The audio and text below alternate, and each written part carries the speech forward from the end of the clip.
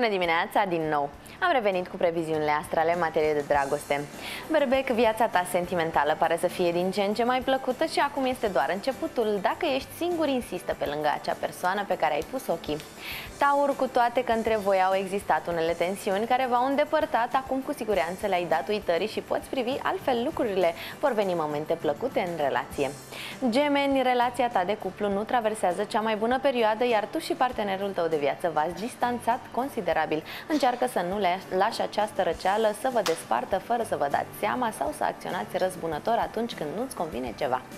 RAC este foarte important să-ți faci mai multe planuri alături de partenerul tău, astfel acesta va crede că nu mai contează pentru tine. Din fericire îți vei da seama la timp de greșelile pe care le faci și vei remedia imediat situația.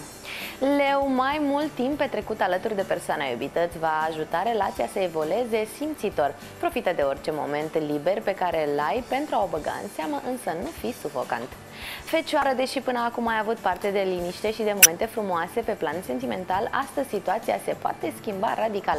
Partenerul tău pare schimbat și parcă face intenționat anumite lucruri pentru a te enerva.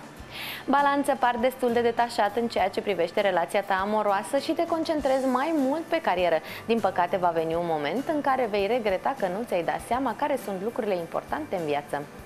Scorpion, axează-te pe viața de familie și lasă alte griji deoparte. Încearcă să fii mai bun, căci cearta și morala nu sunt indicate în perioada aceasta.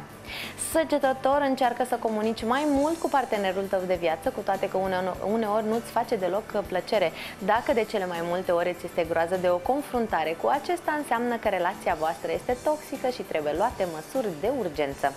Capricorn, dacă ești singur, este foarte important să alegi ce este mai bun pentru tine, iar asta presupune să nu te grăbești. Analizează situația în liniște. Vărsător este o zi bună atât pentru cei singuri cât și, cei, cât și pentru cei implicați într-o relație. Participarea la un eveniment te va face să te reîndrăgostești de persoana actuală. Pești, ție mai bine alături de prieten decât de partenerul tău, iar asta îți va ridica multe semne de întrebare. Ai realizat în sfârșit că ceea ce se întâmplă în viața ta amoroasă necesită o schimbare drastică. Atât pentru moment, să aveți o dimineață frumoasă! Mulțumim, Amalia!